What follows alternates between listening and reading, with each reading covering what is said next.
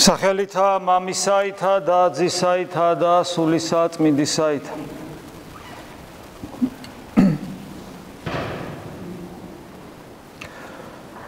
დღეს ალბათ გახსოვთ სახარებაში განღვეულის განკურნების ისტორია არის კიდე კვლავ მოთხრობილი და ეკლესია კვლავ ამ ისტორიის საშუალებით კიდევ ერთხელ ცდილობს რომ ჩვენი სულიერი ცხოვრება სწორად წარმართოს.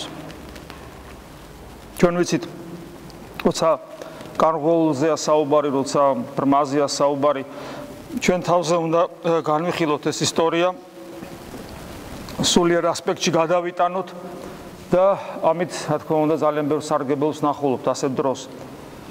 განღვეულობა ეს ერთგვარ პარალიზებაა გესმით და მე ვფიქრობ, რომ ადამიანი, რომელიც ცდილობს არა უბრალოდ რელიგიური სინდისის დამშვიდებას აქ არამედ ცდილობს რომ ღმერთთან ცოცხალი ურთიერთობა ჰქონდეს.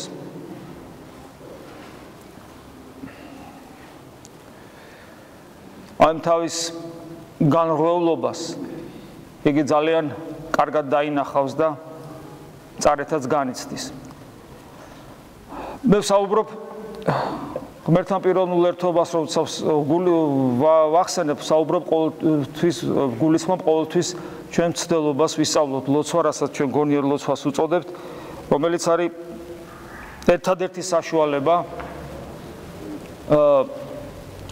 ერთადერთი საშუალება როდესაც ადამიანი ცდილობს რომ ერთადერთი საშუალება რითაც ადამიანი როგორღაც ნუ ახერხებს ცოტა თავხედური ნათქვამი იქნება ცდილობს რომ ღმერთთან ეს პიროვნული ურთიერთობა ქონდეს, ანუ რამ მდგომარეობა, როცა თლიანად ადამიანი ცდილობს დაუთმოს საკუთარი არსება ღმერთს გული გაუხსნას ბოლომდე თავგანწირვით ცდილობს ამას თავის ცხოვრებით, თავისი ბიოლოგიური არსებობით გნებავთ ცდილობს რომ დაამოწმოს ჭეშმარიტება, რომ დიახაც იესო ქრისტე არის ჭეშმარიტი ღმერთი ადამიანად მოსული ჩვენთან და მისთვის ღირს ნებისმიერ თავგანწირვაზე წასვლა, მისთვის ღირს ნებისმიერი ღვაწლი, მისთვის ღირს ნებისმიერი ტანჯვა, როგორც წმინდა წერილში ვკითხულობთ. და უხაროდათ მოციქულებს, რომ იესო ქრისტესათვის იესო ქრისტეს სახელისათვის ტანჯვის ღირსნი შეიქმნენ, როგორც საქმე მოციქულთაში ვკითხულობთ. და უფალი ამბობს პავლე მოციქულზე, რომ მე ვაჩვენებ მას თუ როგორ მართლაც ღირს ყველაფერ აი ამ დიდებულებისათვის რაც ღმერთმა ჩვენთვის მოიმოქმედა ტანჯვას და თავგანწირვას. აა დიახ გონიერლოცვა ჩვენ ამ ყველაფერს გვასწავლის და ყველაზე კარგად ასევე სწორედ გონიერლოცვა ის რაც საკუთარ ჯოჯოხეთს გვაჩვენებს ჩვენს უუნარობას ღმერთთან ყოფობის ანუ პარალიზებას, განღვეულობას, მოკლედ ვთქვა. თან უცნაური რამე ხდება. ხდება ესეთი რამე, რომ ადამიანი რაც მეტად ცდილობს სწორად იცხოვროს, უფრო მეტად და მეტად და ძალიან სწრაფად სწავლობს განისწავლება ქრისტიანობაში.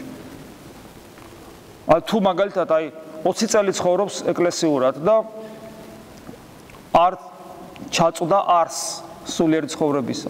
მომულად რაღაც გარეგნულად წესებს ასრულებს და ამით კმაყოფილდება. მას შეიძლება შედეგი კონდეს ნული, ან კიდე მინუსები, იმიტომ რომ ძალიან ხშირად ესეთი გარეგანი სულიერი ცხოვრება, ну, ვითომ გარეგანი რელიგიური ცხოვრება უბრალოდ ადამიანში თავდაჯერებულობას მატებს, რომელიც სწორედ ხიბლის წყაროა. ამიტომ ხიბლული ადამიანი გაცილებით უარესია, ვიცით, ვიდრე ურწმუნო, მაგრამ ჩვეულებრივი ადამიანი. იმიტომ რომ მოხიბლული ადამიანი ფარისეულურ სულს აღორძინებს თავისავში ეს კიდე ну ნებისმიერი ფარისეველი პოტენციური ქრისტეს მკვლელია. ესია მაგრამ როდესაც ადამიანი ეცდება რომ სწორასულიერი ცხოვრებით იცხოვროს თქვა აი 20 წელი გავიდა და და უცებ ერთი წელი დაიწყო სწორასულიერი ცხოვრება. იმ ერთ წელიწადში გაცილებით მეც ისწავლის ვიდრე ის 20 წელიწადი რაღაცას სწავლობდა. პირიქით შეიძლება ითქვას ის 20 წელიწადი მისთვის დამაბკოლებლად შეიძლება იქცეს იმ ცუდი ჩვევების გადაჩევა, გადაჩევას ძალიან დიდი ენერგია ჭირდება. ერთი წელი ამ ერთ წელიწადში უმეტეს 2-ში, 3-ში, რამდენ ხანსაც ის სწორად ცდილობს უფლისაკენ გზის გაკვლევას. ძალიან ბევრ ამის ისწავლის. თვითონაც გაოცებული იქნება, აღფრთოვანებული იქნება, გაოგნებული იქნება.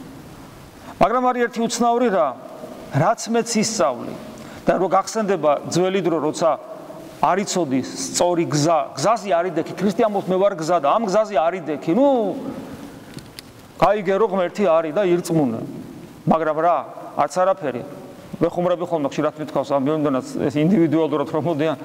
თქვა იცნობ ხა შენ ამერიკის პრეზიდენტს. უბრალოდ იცი რომ ამერიკის პრეზიდენტი ყავს ბარაკ ჰუსეინ ობამა.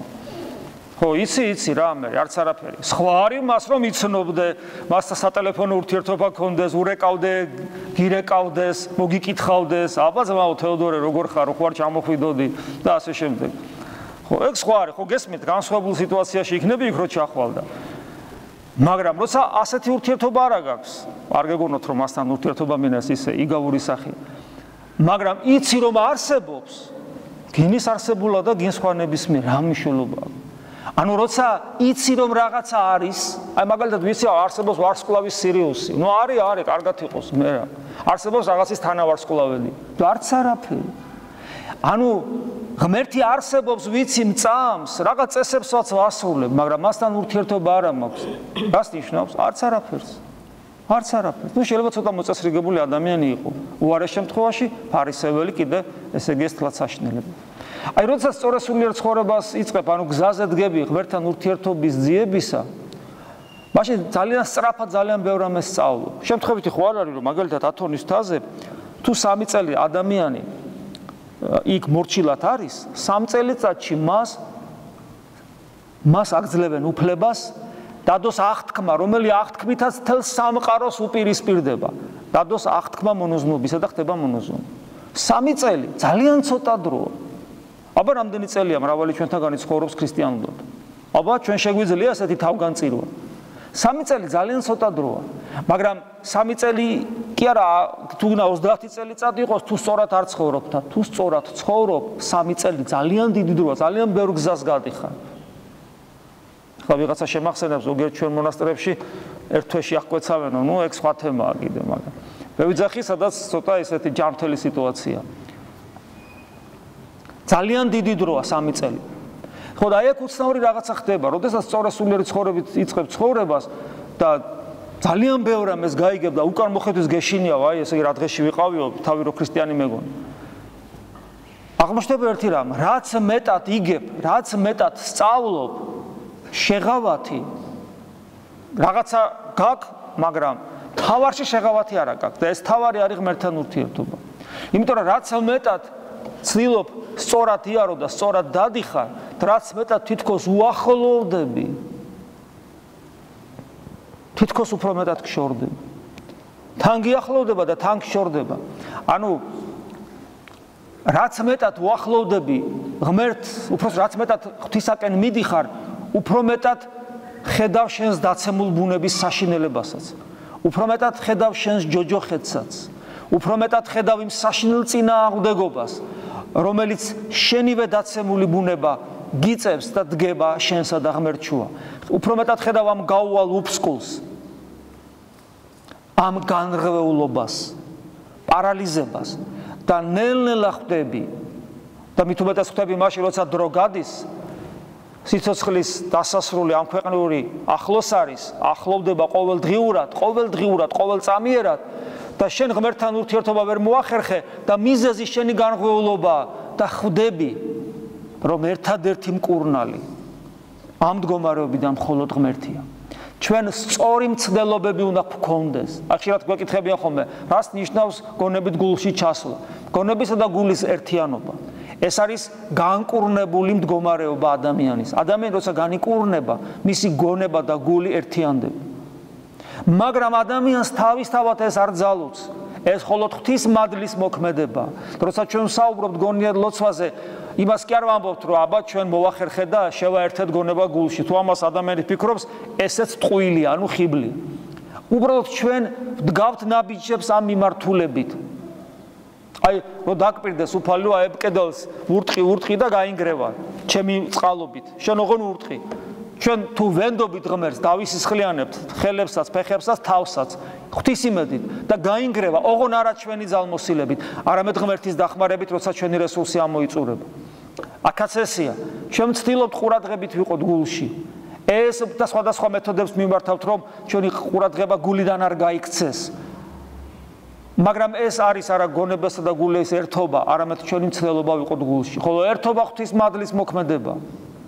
ანუ ჩვენი განღვეულობა მხოლოდ ღმერთით განიკურნება. ჩვენგან უნდა იყოს მხოლოდ ბრძოლა და მცდელობა. ეს არის. და როდესაც ჩვენ ამ გზაზე ვდგებით, დღევანდელ და ხშირად უიმედობა გვიპყრობს, იმიტომ რომ ხშირად უთქვიათ ხოლმე, რომ ვაკეთებ, ვაკეთებ, არაფერი გამოდის და ეს სასწარკვეთილებაში მაგდებს. ნუ ვარდებით ჩვენ სასწარკვეთილებაში. სასწარკვეთილებას და უიმედობას ორი მიზეზი შეიძლება კონდეს. პირველი ჩვენი ამბიცია.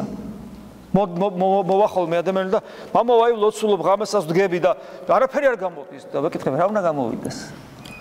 და თურმე უნდა გამოვიდეს რა იცი რომ დადგა ერთი კვირა ლოცულობს 15 წუთი.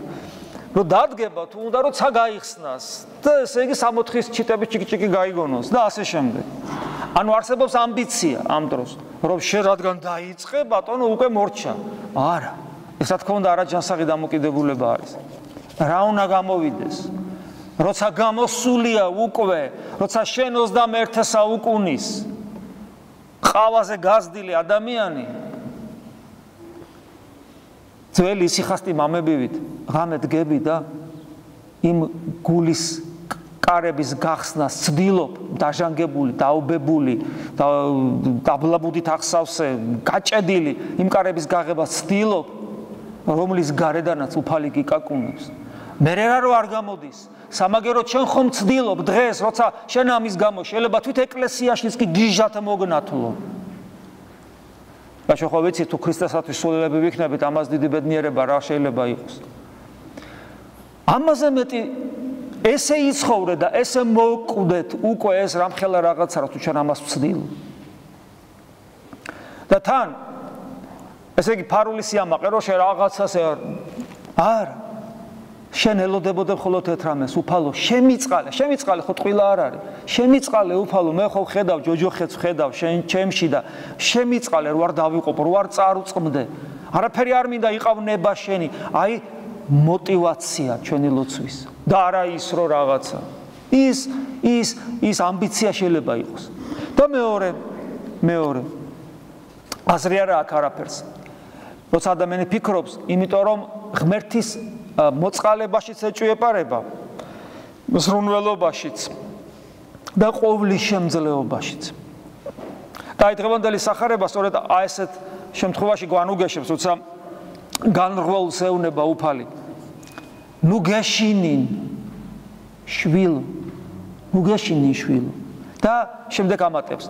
მიგეტევნენ შენ ცოდვანი შენი და ამით ამით რატო დაიწერა? ჩვენ სამოზღებლად არ დაიწერა? ჩვენ გვეუნება როცა ჩვენ წვალ თუ ადამიანი არ წვალობს თუ ადამიანი თავის განღრევლობიდან გამოსვლას არ ცდილობს თორე რა გარღვეული დავდივარ დავბივა დავხტივარ ჯამთელობას მაგ თუ ახალ მოკლედ კარგად ვარ.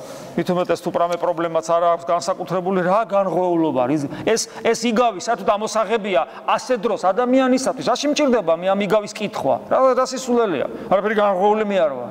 მაგრამ როგორც კი როგორც კი შენ მოინდომებ სულიერად ფეხზე წამოდგომას და ღმერთთან ურთიერთობას, რომელიც შენ გულთან არის. და თუ გულთან არის, ხო წამ სახარების. აბა მიდი მაჩვენე, სად არის? შენთან. იმ წამსე მიხვდები რომ განღვეული ხარ. როგორც კი მიხვდები განღვეული ხარ და დაიწყებ ამ წამოდგომას, ანუ გონიერი ლოცვის სწავლას, იმ წამსე მიხვდები რომ უსუსური ხარ, უნარო ხარ. და იმაში მიხვდები ამ სიტყვების ფას შენთვის. ნუ გეშინია შვილო. ნუ გეშინია. და მე რა გეუბნება შეხოხთი იცი რომ ცოდვა არის მიზეზი რაც რის გამო ჩემ ფეხზე ვერ დგები. მიგეტევნე შენ ცოდვანი შენ.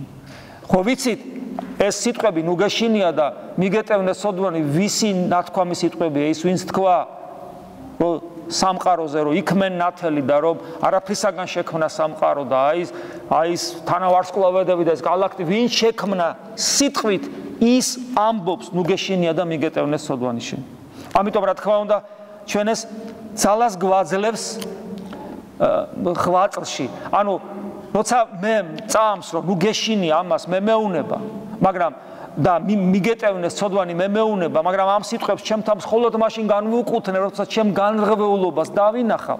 აი მე რო უკვე მე რო უკვე იმედი მეძლევა და მე რე ძალა მეძლევა, რომ მე საქმე ვაკეთო ჩემი გადარჩენის. და აი დღეს ასევე ეს განღვეული სიგავი მათემახარებლის მეცხრე თავიდან ამოვიკითხე დღეს და დღევანდელ დღესვე ამ სახარების შესაბამისი 60 ქულო ეს რომელთა მიმართ ეპისტოლეს მე-12 თავიდან სადაც ვკითხულობთ იმას თუ როგორ უნდა ვიცხოვროთ? ახლა ჩვენ, როცა ჩვენი უკვე იმედი გვაქვს, არ გვეშინია ჩვენი განღვეულობის, არ გვეშინია, იმიტომ რომ უფალი გვანუგეშებს და იმ განღვეულობის მიზეზსაც კურნავს, ანუ ჩვენ წოდებს და ჩვენ ძალა გვეძლება და ესე იგი ვცდილობთ რომ ფეხზე წამოვდგეთ. და ეს ფეხზე წამოდგომა შემდეგი სიტყვებით ჩანს რომელთა მიმართ ეპისტოლეს მე-12 თავში. როცა პავლე მოციქული გვარიგებს რომელიც წამოდგა ფეხზე წამოდგა და ეხლა გვასწავლის როგორ წამოვდგეთ. იგი წამოდგა ფეხზე მან იხილა სასופველი და მე გვითხრა მომბაძეთ როგორც მე ვბაძავ ქრისტეს სრაფვასა ნუ მწონარე ხართ პავლე მოციქული გეუბნება ანუ ეს ესეთი დაახლოებით ესე ესე შეიძლება თარგმნოთ გულმოდგინება ნუ დაგეზარდება დაგზარდებათ. გულმოდგინება გულმოდგინება. მწონარე სიზარმაცია სრაფვა ეს გულმოდგინება მოშურნეობა რომ არ გავჩერდე არ მეზარებოდეს. გესმით? მაღვიძარა ვერ მაღვიძებს წამოსვლა დამეზარა წინა საღამოს დავთვერი და ვერ მოვედი. და ასე შემდეგ, ნუ რა მოხდა ერთი დღე, რა მოხდა ერთი ღამე, აი ეს ეს უბედურება, ეს რო არ გჭირდეს. ნუ დაგეზარებად გულმოდგინება, პავლე მოციქული გვეუბნება. იმიტომ რომ უფალმა გითხრა, ნუ გეშინია, მე მოგიტევებ, ანუ მე გაანკურნავ შენს განღრეულობას და შენ შეძლებ, შეძლებ ჩემი დახმარებით რომ ნაბიჯი გადადგა. შემდეგ პავლე მოციქული ამბობს, სულით მდუღარენი იყვენით. ახე, ჩვენ ხშირად ვამბობთ ხოლმე ამ სიტყვას, სულით მდუღარება. უფალი აპოკალიფში ამბობს ნელთბილი ხარ ამო განთხევ ჩემი პირიდან სულის დუღარების garaშე ქრისტიანობა არ არსებობს ნელთბილი მიკნავლებული მინავლებული ვაი ქრისტიანი ისე რა ქრისტიანი ნახევრად ქრისტიანი სათავისოდ ქრისტიანი რელიგიური გზობების დაკმაყოფილებისათვის ქრისტიანი ეკლესიაში ქრისტიანი გარეთ არა ქრისტიანი გესმით ხანდახან ქრისტიანი ეგეთ რამე არ არსებობს სულ უნდა იყო ქრისტიანი არც ერთი წამი არ შეიძლება არ ვიყო. არც ერთი წამი არ შეიძლება არ იყო. არც ერთი წამი, იმიტომ რატო? იმ წამს შეიძლება მოკვდე. და თუ ის შენი ის წამი არის ნამდვილი და ყველაფერი დანარჩენი ყველაფერი დანარჩენი ნიღაბი, შენი საქმე ძალიან ცუდად იქნება. ამიტომ არც ერთი წამი. ნაგავში რო ჩავარდები. ხო არ შეიძლება რომ რაღაც ნაწილი დაიბანო და აი ხელისითები დაიბანო და რაღაცები არ დაიბანო რომ ნუ საჭმელნავ ჭამო და ეს იყოს რა მოხდება? ყველაფერი უნდა დაიბანო. თორე მან ჭუჭყიანი იქნები. სულ ყველაფერი უნდა დაიბანო. ტანსაცმელიც უნდა გაირეცხო თუ ჩავარდები სადღაც უწმინდურობაში. არ შეიძლება სანახევროთ იყო არავითარ შემთხვევაში. ამიტომ სულის მდუღარება ეს ერთ-ერთი ამის სწორედ ნიშანია. თუ ადამიანი სულით მდუღარია მას არ დაეძინება ამ ცხოვრებისეული ძილით არა მარტო ფიზიოლოგიური ძილით, არამედ ამ ცხოვრებისეული ძილითაც არ დაეძინება. რა დროს ძილია, კაცო? ესე იგი ცხოვრება მიდის საშნელი სისწრაფით. მოიხედები და უკვე ახლა 46-ის გავხდები, ვერ ვასწრებ. მოსასწრებათა არ არ არ ვიცნობ ღმერთს. არ მაქვს მასთან ურთიერთობის გამოცდილება. მინდა, მაგრამ არ მაქვს. ეს პრობლემათ მექცა, ისეთ პრობლემათ მექცა, რომ ყველა პრობლემა დამავიწყდა. და მაქვს მე დრო დასაკარგავი. და რომ კარგავ ეს ყველაზე დიდი ცოდვა, არ მგონია მე ამაზე დიდი ცოდვა არსებობდეს ქრისტიანისათვის თუ არა ისო კარგავს დროს. რას ნიშნავს დროის დაკარგვა? რას ნიშნავს და იმას ნიშნავს რომ უფალმა გითხრა რასაც არ უნდა აკეთებდეთ, ღვთის სადიდებლად აკეთებდეთ. როცა რაიმეს აკეთებ არა ღვთის სადიდებლად, როცა აკეთებ რაიმეს სადაც ღმერთი არაფერს შუაში არ არის. ანუ აკეთებ რამეს რომელიც არანაირ სიკეთეს არ წარმოადგენს, არავისთვის, არაფრისთვის.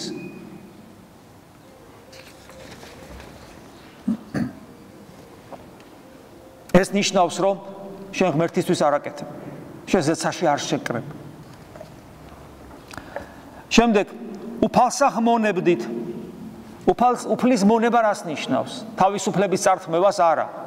უფალი უსასრულობა, უფლის მონება ნიშნავს თავისუფლების მოპოვებას. როცა მონებ უფალს, შენ აღარ მონებ შენს ქვენა გზნობებს და ვნებებს. არჩევანი ესეთი გაქვს: ან შენი თავს უნდა დაემორჩი, ან შენი პიროვნული არჩევანი, ან შენი ბუნების ნების ჭკუაზე ივლის, ან ღმერთის ნების ჭკუაზე. რომელი ჯობია? რა თქმა უნდა, ჩვენ ხვდებით, რომ ღვთისნება არის გარანტი ჩემი თავისუფლებისა. თუ არა, ყველა შემთხვევაში საკუთარი დაცემული ბუნების ნების ჭკუაზე დავდივარ, ეს არის დაკარგვა თავისუფლების. ამიტომ ჩვენ ვიცით, რომ ახაც შეგვეწევა უფალი და ამიტომ ჩვენ ამასაც გვეუბნება პავლე მოციქული, რომ გააკეთეთ ეს. სასოებასა გიხაროდეთ. ანუ როცა იმედი თქვენში ცოცხლობს ძლიერად, სიხარული გქონდეთ, მაგრამ თუ ჭირი მოვიდა, როცა იმედი იკლებს. მაშინ გვეუბნება პავლე მოციქული ჭირსა დაუთმობდით. ანუ ჭირში იყავით მომთმენნი. ნუ გეშინიათ ჭირის დროს. აქაც მიზეზი უფალია. ნუ გეშინია გეუბნება. ნუ გეშინია შვილო. ნუ გეშინია და ჩვენ ხშირად ვიცით რომ როცა იმედად ვართ ღმერთი გვავიწყდება რომ აი კარგად რო ვართ კარგად კარგად კარგად არც ხვალინდელი იმედი გქო ხვალინდელი დღის ეგინდელი დღის ჩვენი საქმიანობით ჩვენი ჯანმრთელობით ჩვენი ღმერთი გვავიწყდება და როცა ჭირი გვაქვს მაშინაც გვავიწყდება. არც მაშინ და არც მეორე შემთხვევაში ღმერთი არ უნდა დაგვავიწყდეს. ლოცვასა განგზალული იყვენით. ანუ განგზალული თხილად ანუ უბრალოდ ლოცვაში მდგრადი, მოუღლელი. ადამიანი არ იღლება ლოცვაში, მткиცია ლოცვაში. ეს ეს პრობლემაა, ჩვენ ვიცით, ხან ვახერხებთ, ხან ვერ ვახერხებთ, როცა გული გვეტყვის, გვინდაო, მინდაო, ვახერხებთ, როცა გული გვეტყვის, არ გვინდაო, ვერ ვახერხებთ. ლოცვა ჩვენთვის არის არა უფლისადმი სიყვარულის გამოვლენა, არამედ წესის შესრულება და ეს ცალკე პრობლემებს ქმნის, იმიტომ რომ წესით ლოცვა არ უნდა იყოს წესის შესრულება, მაგრამ ის არის სამწუხაროდ, იმიტომ რომ არასწორად აღვიზარდენით ჩვენ ეკლესიაში. არასწორად აღვიზარდენით. პირველივე ნაბიჯი არასწორია, როცა მოვედით და მოგვაჩეჩეს ისა, რა ქვია, წმინდა მამის დაწერილი გულდან აღმოსული უფრო ტექსტი და გითხრეს რომ აი ხლა ეს იკითხე, იგებ არ იგებ მნიშვნელობა, ესეთ რამესაც ნახავ. ფსალმუნები ვიკითხო, ვერ ვიგებ, არა უჭირს, იკითხე, ეშმაკი ხო იგებს და ეშინია. ეს მაგიური დამოკიდებულება ლოცვის სიტყვებისადმი. მესმის ხო დისციპლინა გამოგიმუშავდება რაღაც ღვაწლი შეიძლება, მაგრამ ცუდი ხდება ის, რომ ლოცვის არს თავიდანვე კარგავ. ლოცვა არ არის ის რაღაცას კითხულობდე და არ გესმოდეს, ეს ერთი. ლოცვა არ არის ის კითხულობდე და შენი არ იყოს და ტყუოდე ყოველ სიტყვაში, იმიტომ რომ შენი არ არის. თავიდანვე პრობლემის წინაშე ვდგები. ლოცვა ღმერთთან პიროვნული, გულწრფელი, ალალი, ტყუილის garaშე ურთიერთობაა. ამიტომ პირველივე ნაბიჯი უნდა იყოს სწორი. და მას ჩვენ ყოველთვის საუბრობთ, როცა მოდიხართ ჩემთან და მე ვცდილობ, რომ თუ ახალმოსული ხართ, თავიდანვე ესე გითხრათ, თუ უკვე ეს დანაგვიანებულია თქვენი რელიგიური ცნობიერება არასწორი ცხოვრებით, ვცდილობთ, რომ ეს გამოვასწოროთ. როგორ დავიწყოთ ღმერთთან სწორი ურთიერთობა? და მაშინ თუ ეს ურთიერთობა გასწორდა, ლოცვა აღარ ეზარება ადამიანს. იმიტომ რომ რწმენა ხო სიყვარულის garaში არაფერი არ არის. როგორ შეიძლება რწმენა სიყვარულის გარეშე იყოს და სიყვარული გასაგებია წვერვალია, მაგრამ ჩანასახის მდგომარეობაში ის წმენაში ყოველთვის არის. და რადგან ის ჩანასახის მდგომარეობაში რწმენაშია და რწმენით არ მოხვედი, როგორც კი შენ ცოცხალ ურთიერთობას იწყებ ღმერთთან, შენი ლოცვის мотиваცია არის არა ის, რომ ღმერთი არსებობს ვიცი. არა მხოლოდ ეს. არამედ სიყვარული, რომელიც იმ რწმენასთან აუცილებლად არსებობს და იწყება პიროვნული ურთიერთობის მცდელობა იმასთან, ვინც გიყვარს, ანუ ღმერთთან. და ამიტომ ლოცვა არასოდეს არ დაგეზარება. ღამებს გაათენებ ისე რომ ვერც კი მიხვდები როგორ დაგათენდა, იმიტომ რომ ეს არის შენი სიყვარულის გამოვლენა, გრძნობადებს ამაში. რა თქმა უნდა, ნების ყოფის garaში არ არის, დაცემული ბუნება ხო იბრძვის და იმას ჭირდება ბრძოლა, მაგრამ მაინც საფუძველთა საფუძველი ლოცვისა სიყვარული. ესეა ყველაფერში. ადამიანი თავს რო წირავს, სამშობლოს წირავს თავს. რა, სიკვდილი ახალისება? სიყვარული აქვს სამშობლოს. ზოგი ფულის ფულის სიყვარულის გამო ყდება დაქირებული მეომარი, მაგალითად. ისიც ყდება სიყვარულის გამო. ოღონ იმას საკუთარ თავზე მეტად შეიძლება ფული უყვარს. ხო და აი ფული. ანუ სიყვარული ყველა და როცა არაფერი არ გიყვარს.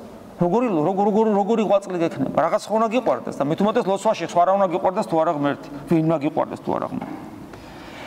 აი ამ სწორე ხედვის პარალელურად ეკლესიაში სამწუხაროდ არსებობს ფანატიზმი. იმიტომ რომ ყველაფერ ამას ასაც ჩვენ საუბრობთ, მიუყვავართ სიცოცხლისკენ. სიცოცხლე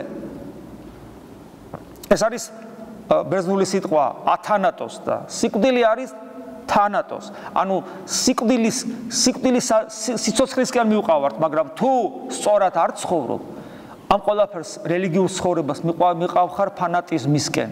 კიდევ ვიმეორებ, ყველაზე ძლიერად ეს დადასტურდა მაშინ, როდესაც არასწორმა რელიგიური ცხოვრებამ იმ ზომამდე მიიყვანა ადამიანები, რომ სიცოცხლეს, კერძო სიცოცხლეს კი არ დაუპირისპირდნენ, სიცოცხლის წყაროს დაუპირისპირდნენ და ქრისტე მოკლეს. გესმით? იმიტომ რომ სიცოცხლის სიძულვილია. სიცოცხლის სიძულვილია ფანატიზმი, არასწორი რელიგიური ცხოვრება. არასწორი რელიგიური ცხოვრება ეკლესიაში არ აქვს მნიშვნელობა ერის კაცი ხარ ხდელი ხარ სულ ერთია არასწორი რელიგიური ცხოვრება ბადებს სიცოცხლის სიძულვილს ეს არის ფანატიზმი ეს არის სული ფარისევლობის აი მაგალითად ჩვენ ასევე ვკითხულობთ მათესახარებაში როცა გახსოვთ რომ განკურნა ხო მიუტევა ცოდვები ცოდვები მე რეკურნავს და ცოდვებს შეუტევებს როგორ აბობო ხრდებიან როგორც ყველგან სხვა სხვა დროსაც. და უფალზია ნათქვამი მათემახარებლის მიერ. ისევ მეცხრე თავია ეს. იცოდა იესოს რახვანი მათნი. გულში ამბობდნენ გულში განიკითხავდნენ. და რქვა მათ რაისა თქვენ ბოროტსა ზრახავთ გულთაშინა თქვენთან. ფარისევლობა არის ბოროტება. ფარისევლური სული არის ბოროტება. ფარისევლობას ბადებს არასწორი სულიერი ცხოვრება, არასწორი ქრისტიანული ცხოვრება. ფთხილად ვიყოთ. ეს სული ძალიან ძლავრობს. ძალიან ძლავრობს მათ შორის ჩვენს ეკლესიაში. ფთხილად იყავით. ცოცხალი ურთიერთობის დეფიციტი ღმერთთან იწვევს ფარისევლური სულის აღორძინებას. ცოცხალი ურთიერთობა ღმერთთან ნიშნავს დაინახო როგორია ქრისტე და მიემსგავსო მას. როგორია ქრისტე? ქრისტე არის აბსოლუტური სიყვარული, რომელიც საკუთარ მტრებზე საუბრობს, ლოცულობს, მიუტევე მამაო ყველელებზე, ყველაზე საშინელ ადამიანებზე, მიუტევე მამაო რამე თუ არიციან რასაკეთებენ. აბსოლუტური სიყვარულია ის, რომელიც იმ დროის ერთ-ერთ ყველაზე თავარ ნაძირალას ეუნება დღეს ჩემთან იქნები სამოთხეში. არ დაგვავიწყდეს ვისი მოწაფენი ვართ? და რელიგიური ცხოვრების გარეგან წესებს ნუ გადავაყოლებთ ცოცხალ ღმერთს. წესები არის მიმართულების მაჩვენებელი გზის მაჩვენებელი და გარკვეული საჭიროება ცოცხალ ღმერთთან ცოცხალ ღმერთთან ურთიერთობის ძიებისა. მაგრამ არა თავად ცოცხალი ღმერთი. შაბათი დაებადა კაცისთვის და არა კაცი შაბათისთვის.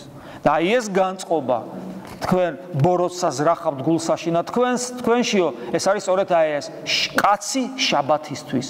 შაბათი რომელმაც გადაფარა ღმერთი. შაბათში რას გულისხმობთ ხვდებით. ეს არის გარეგანი წესი კანონი რომელმაც გადაფარა ღმერთი და მოკლეს ამიტომ ღმერთი. გადაფარა მათ გულში რა თქმა უნდა.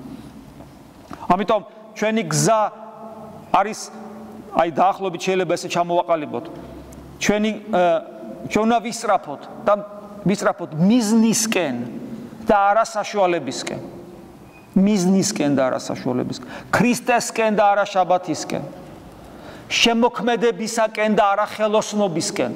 ხელოსანის მუშაობის პრინციპი ესეთია. მას რაღაცა თქვათ აქვს სქემა და ამ სქემის მიხედვით ნახაზი და ამ სქემის ჩარჩოებში იგი ქმნის რაღაცას. შეიძლება ძალიან მაგარ შედევრსაც, მაგრამ ამ ჩარჩოებში ქმნის. მას არ აქვს პიროვნული შემოქმედების უფლებაც. არც შესაძლებლობაც, არც უნარიც. ხოლო ხელოვანი, ხელოვანი ამ ჩარჩოების მიღმა, მიღმა, იგი სრულ პიროვნულ თავისუფლებას ავლენს შემოქმედების პროცესში და ის არანაირ ჩარჩოებს არ ემორჩილება. ეს ძალიან მნიშვნელოვანია რო გვახსოვდეს. სულიერი ცხოვრებაზე კი წმინდა მამები ამბობენ, რომ ეს არის დაუსრულებელი შემოქმედებითი პროცესი. ღმერთთან ურთიერთობა ვერანაირ ჩარჩოებს ვერ გუობს. ვერანაირ ჩარჩოებს, იმიტომ რომ ეს არის ორი პიროვნების ურთიერთობა, ღვთაებრივის და ადამიანურის.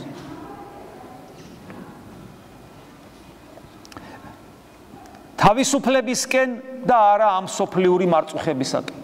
დიახ, ჩვენი გზა ესეთია.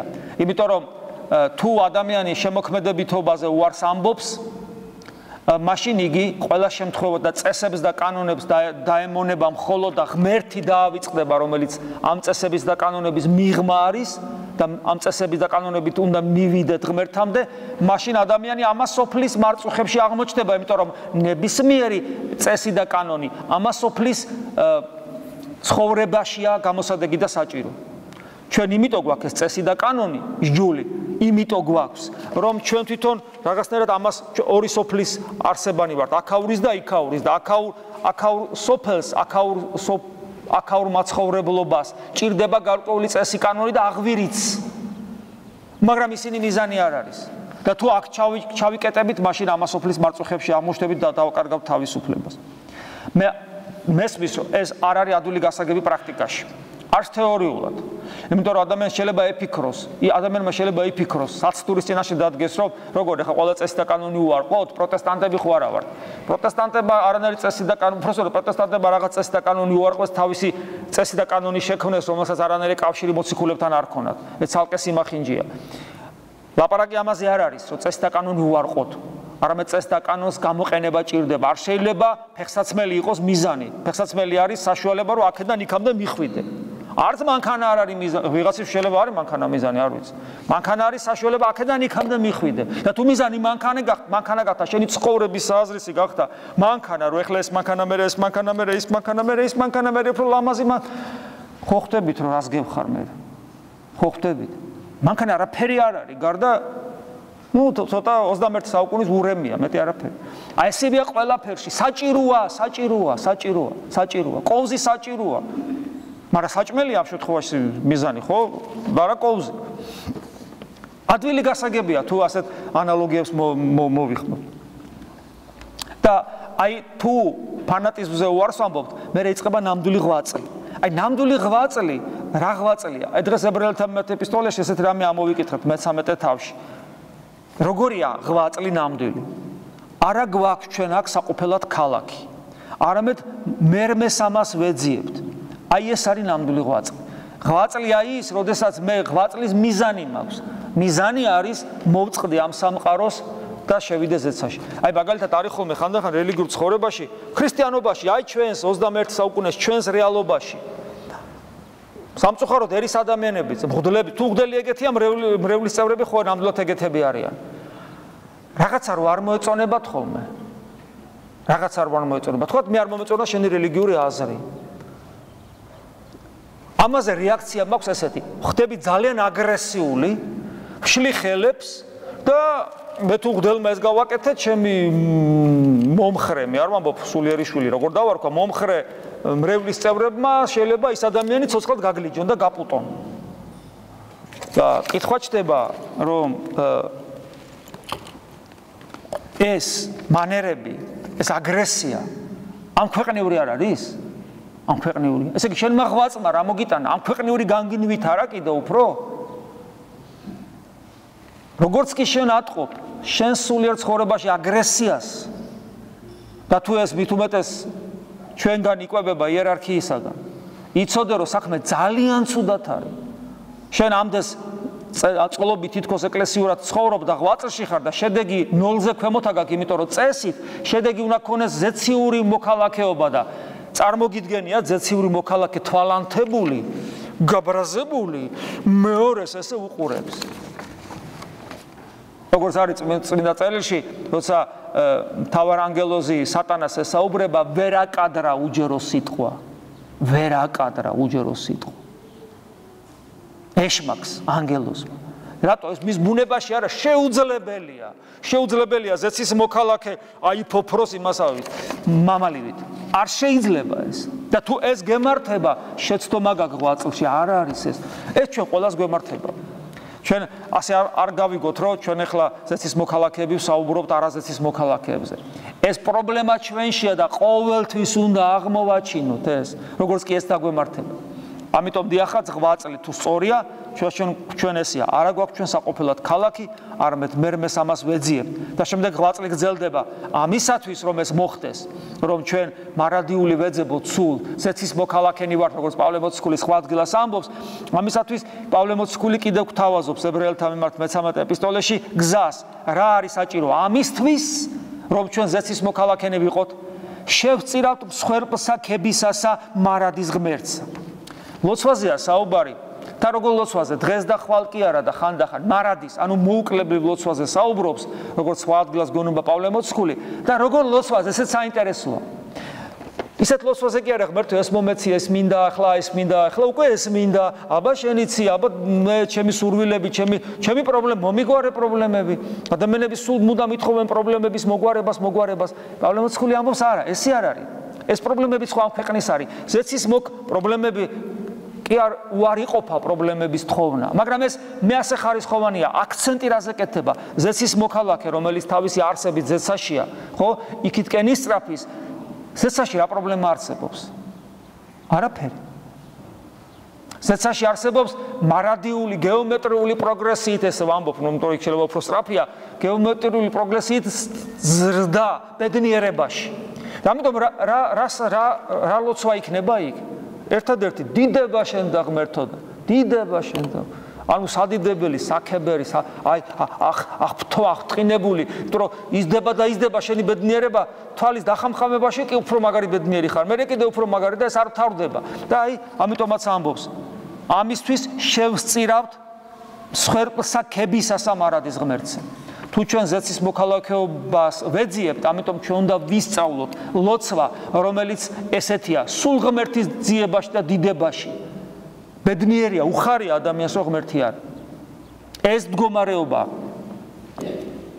ამიტომ ამისთვის შევწირავთ სხვებსა ქებისასა მარადის ღმერთსა და მერე რო არ გვეგონოს ეს სხვა რამე ვიხსნის რომ ეს არის ლოცვა ესე ესე იგი არის ناقობსა ბაგეთასა და ახსარებასა სახელისა მისასა. მისი სახელი ტრიალებ ეს იესოს ლოცვაა რა თქმა უნდა ხო? ნუ შეიძლება სხვა სხვა სახელიც მოვიხსენიოთ ღვთისა ვთქვათ мама იძე და სულიწმინდა მაგრამ ეს უფრო მეტად გავრცელებული იმიტომ რომ ქრისტეს მოწაფენი ვართ. მისი საშუალებით შევდივართ ყოვლადწმინდა სამების წიაღში. აი ეს არის ზუსტად კიდევ ერთი მინიშნება სწორედ გონიერ ლოცვის მუდმივობაზე ჩვენში ახსარებასა, სახელისა, მისისას. და აი ამ ყოლაფრის ناقოფი რა არის? ამ ყოლაფრის ناقოფი ასევე დღეს აღმოვიკითხეთ იოანეს სახარების მე-17 თავში, რომელიც არის განძი თითოეული ჩვენთაგანისათვის იოანეს სახარების მე-17 თავი ეს არის საღვდელმთავრო ლოცვა, როცა ქრისტე ლოცულობს ჩვენთვის და იმას რო კითხულობ, ეს ეს სახარ ეს ეს თავი სახარების არის ამოუწურავი. ეხლა შევ ვკითხულობდი იმდენი რაღაცა აღმოვა ჩინებად კი ამაზე ხوار ვილაპარაკო იმაზე ნუ დავკმაყოფილდე იმაზე რაც გამზადებული მქონდა. ის ამოუწურავია იმიტომ რომ ღმერთი ესაუბრება ძეგმერთი ესაუბრება მამა ღმერთს ანუ ყოვლადწმინდა სამების შიგა დიალოგია. შენ სულიწმინდა გასმენინებს ამას იმიტომ რომ სულიწმინდის გარეშე ვერ გაიგებ წმინდა წელის ანუ ყოვლადწმინდა სამება გახედებს თავის წიაღში როგორი ურთიერთობა აქვთ მათ ერთმანეთთან. იმ საკითხში რაც გეხება შენ. ეს არის საოცარი და ამოუწურავია მე-17 თავი იონეს სახარებისა და იქ თქვა ის ადგილი რომელიც დღეს აღმოვიკითხეთ ერთ-ერთი ესეთია, რომელიც სწორედ სწორედ ცხოვრების და სწორე ღვაწლის ناقობზე მიანიშნებს. რა ناقოფია ეს? რა ناقობს მივიღებთ ჩვენ თუ სწორად ცხოვრობ? დაიცავ ესენი უფალი ძეუნება მამას. დაიცავ ესენი ჩვენ სახელითა შენითა ესენი ვინ ესენი რომელიც მე მომეცი რომელიც მომცენმე და ეს დაცვა რას ნიშნავს და იქვე განმარტავს ხო ჩვენს გასაგონად ამბობს. რათა იყვნენ ერთობით? როგორი ერთობით? ვითარცა ჩვენ.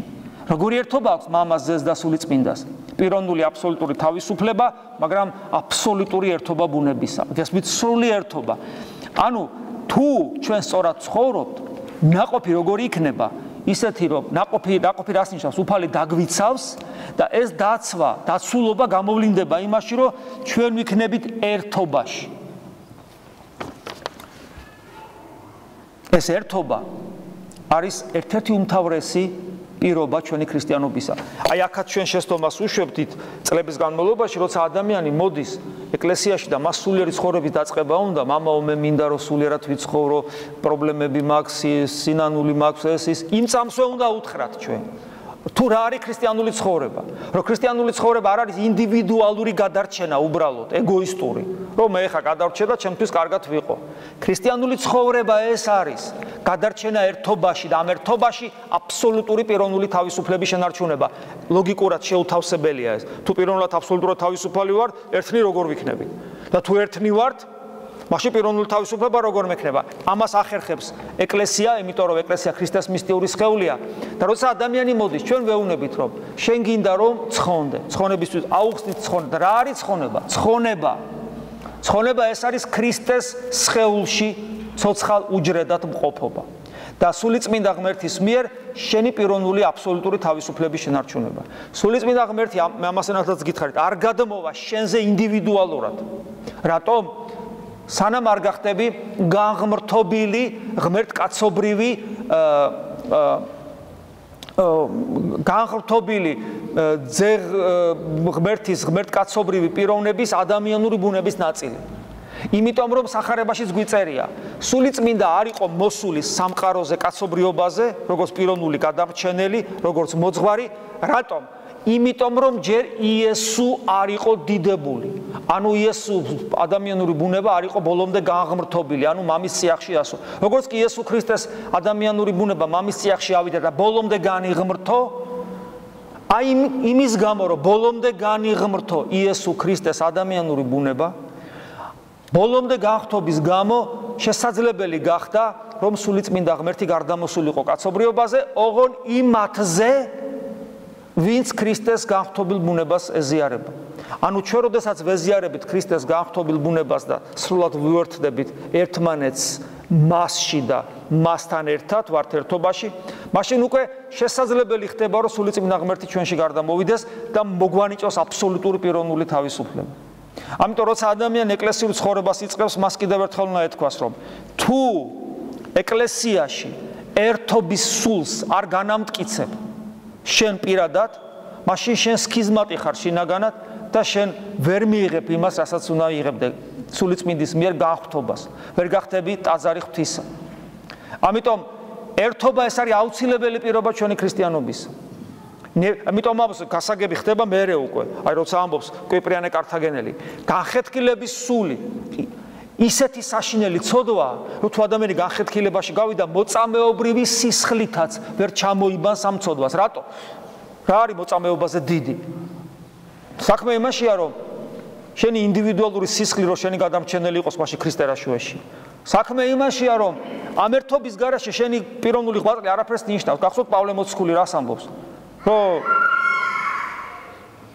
პავლე მოციქული რას ამბობს?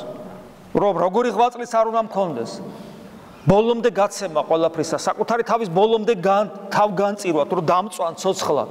და თუ ეს სიყვარული არ მექნება, ამ ერთობაში თუ არ ვიქნები, არაფერი არა ვარ იძახის, არაფერი არა, არაფერს არ ნიშნავს ეს. ამიტომ კიდევ ერთხელ მიმეორებ, ქრისტიანობა ნიშნავს.